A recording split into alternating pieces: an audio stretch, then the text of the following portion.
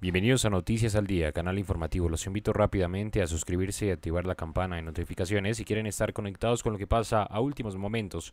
Primera arremetida de Ucrania en territorio ruso destruye depósito de petróleo. La arremetida se ejecutó con helicópteros que cruzaron la frontera para lanzar proyectiles en una ciudad. No olvide dejar un comentario en este video y un me gusta también para apoyarnos. Estaremos muy al tanto de sus comentarios. Rusia acusó este viernes a Ucrania de arremeter un depósito de petróleo situado en las afueras de la ciudad rusa de Belgorod, junto a la frontera rusa-ucraniana que causó un gran incendio. El incendio en el depósito de petróleo se produjo como consecuencia de una arremetida aérea de dos helicópteros de las Fuerzas Armadas de Ucrania que entraron al territorio ruso a baja altura. No hay víctimas, declaró el gobernador, citado por las agencias rusas.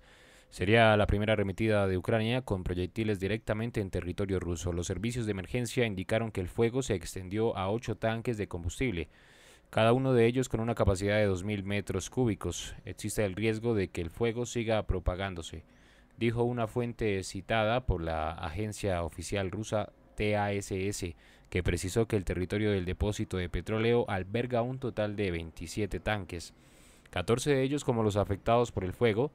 El Ministerio para Situación de Emergencia de Rusia informó que en las labores para sofocar el fuego participan unos 170 bomberos y carros extintores.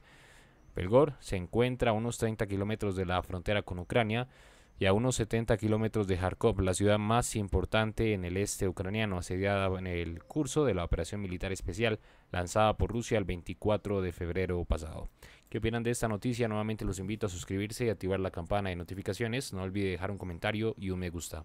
Gracias por estar acá. Noticias al día. En los últimos tres meses, la economía ha creado más de 500.000 empleos. Eh, eh, por mes. A lo largo de mi presidencia, la recuperación ha creado más de 7,9 millones de empleos, más que cualquier otra presidencia en el mismo periodo en toda la historia. Y es sorprendente, pero lo más impactante es esto. En marzo, la tasa de desempleo cayó a 3,6% de 6,4%, que era lo que había cuando yo asumí la presidencia hace 14 meses, la baja más pronunciada en, un primer mandato presidencial en la historia. De hecho, en los últimos 50 años solo ha habido tres meses en que la tasa de desempleo ha estado más baja que ahora. Lo que significa eso es muy claro. Estados Unidos está nuevamente trabajando y esa es buena noticia para millones de familias que ahora tienen un respiro y tienen la dignidad de tener un trabajo y un sueldo. Y a medida que más estadounidenses se incorporan al mercado de trabajo, aliviaremos la presión en la cadena de suministros. es bueno para combatir la inflación, es bueno para la economía y nuestra economía pasa de una economía en reparación a una economía en acción. La gente está comenzando a comprender eh, eh, que esto es producto del plan de rescate para Estados Unidos, lo que nos ha permitido vacunar a los estadounidenses, abrir las escuelas y poner a los negocios en operación. Moody's, una importante entidad financiera, indica que de acuerdo al plan de rescate, 4 millones, se crearon más de 4 millones más de empleos en Estados Unidos y el desempleo fue 2% más bajo de lo que hubiera sido si no se hubiera aprobado ese proyecto de ley. Gracias a la ley de infraestructura, tenemos más de 4.000 proyectos que se van a iniciar este año en cada uno de los estados del país. En total son 4.000 en los 50 estados.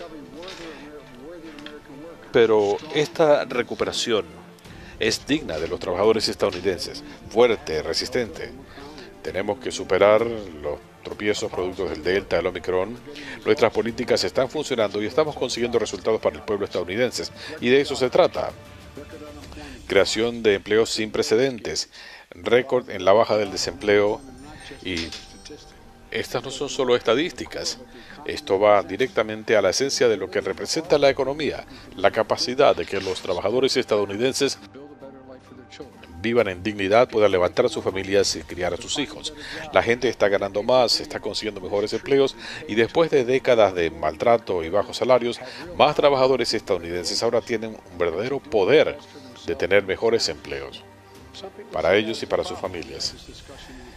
Esta discusión la hemos tenido antes. Algunos piensan que es un problema. Yo creo que ya era tiempo de hacer esto.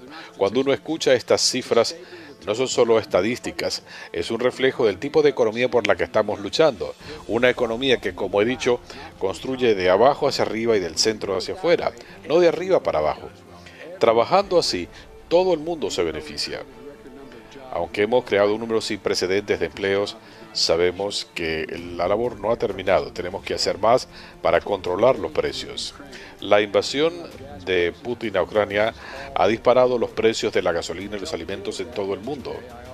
Para lidiar con eso, ayer autoricé la extracción de un millón de barriles diarios de petróleo de nuestra reserva estratégica de petróleo durante seis meses.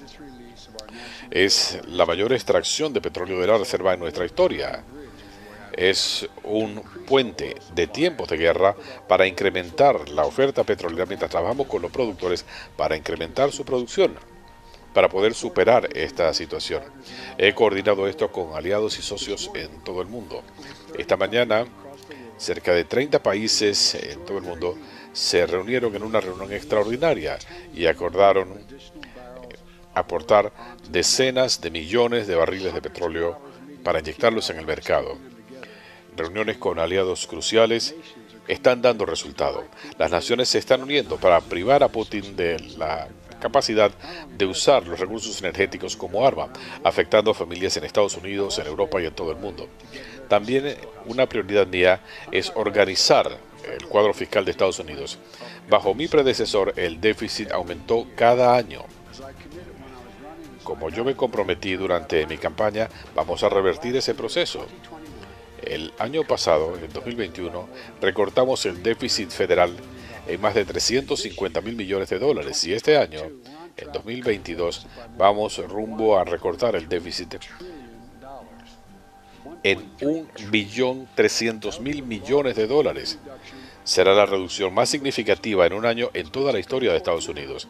Y esto es particularmente importante ahora, que estamos tratando de reducir las presiones inflacionarias. Eso es lo que pasa cuando se reduce el déficit. Así que la realidad es esta. Las malas políticas del gobierno anterior nos llevaron a un déficit sin precedentes.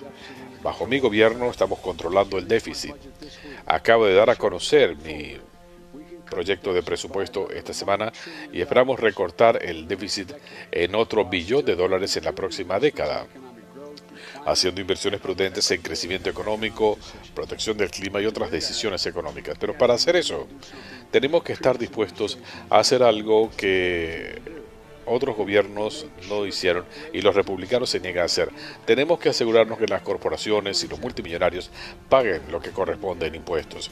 En este momento, los multimillonarios, si hay pocos en el país, eh, no quiero lanzar una cifra, pero son menos del 1% de la población, pero en promedio pagan apenas 8% de su ingreso en impuestos.